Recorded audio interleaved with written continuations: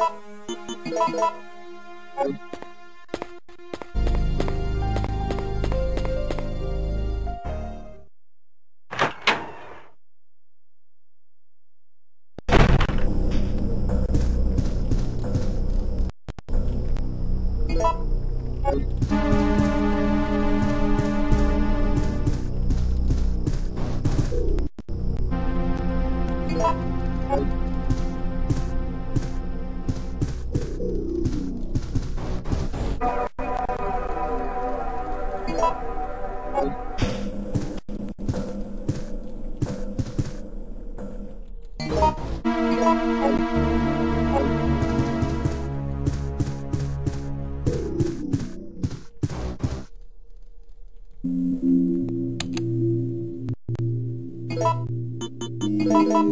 There also appears to be a slight fracture in his right arm just below the elbow.